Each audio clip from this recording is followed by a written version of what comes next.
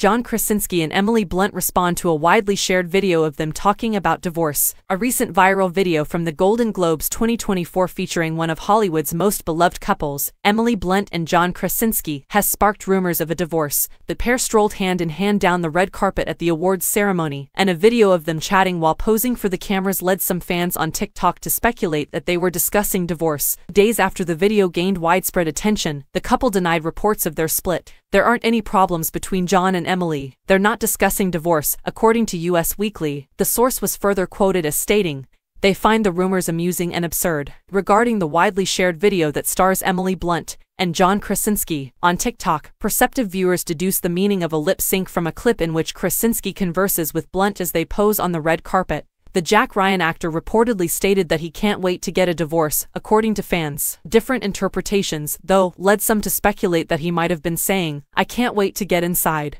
After Emily Blunt went to the Governor's Awards by herself the day after the Golden Globes, persistent rumors about their relationship gained more traction. As of yet, neither Blunt's nor Krasinski's representatives have formally addressed the matter. The relationship between John Krasinski and Emily Blunt, the pair wed in 2010 after first getting together in 2008. Hazel, 9, and Violet, 7, their two daughters, are purposefully kept out of the spotlight. John Krasinski and Emily Blunt have expressed their mutual admiration for one another in a number of interviews. Blunt discussed how meeting Krasinski had improved her life in a 2013 interview, highlighting in particular the emotional support he gives her. In 2021, John Krasinski expressed the same sentiment, calling Blunt the greatest partner of his life in a Q and A session for his movie A Quiet Place 2.